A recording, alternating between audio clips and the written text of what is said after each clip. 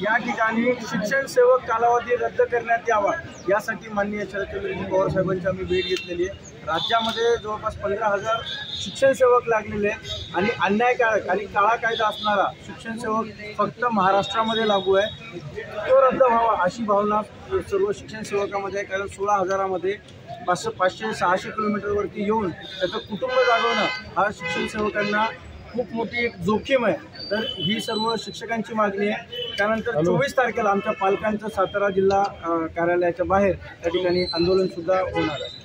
काय मागणी आमची मागणी आहे की जे तीन वर्षाचा शिक्षण सेवक कालावधी आहे कुठल्याही पदासाठी क्लास थ्री असो फोर असो त्यांना प्रोबेशनरी पिरियड एवढा नाही आहे फक्त शिक्षण सेवक कृषी सेवक आणि त्या ठिकाणी ग्रामसेवक या तिघा जणांना आहे. परंतु त्यांना मूळ वेतन मिळतं.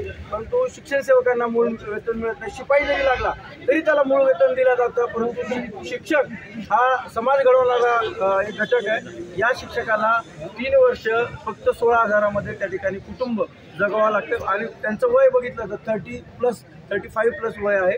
त्यांना सेवासुद्धा फक्त दहा आणि पंधरा वर्षाची त्या ठिकाणी मिळते. सुरक्षेची आम्ही सुद्धा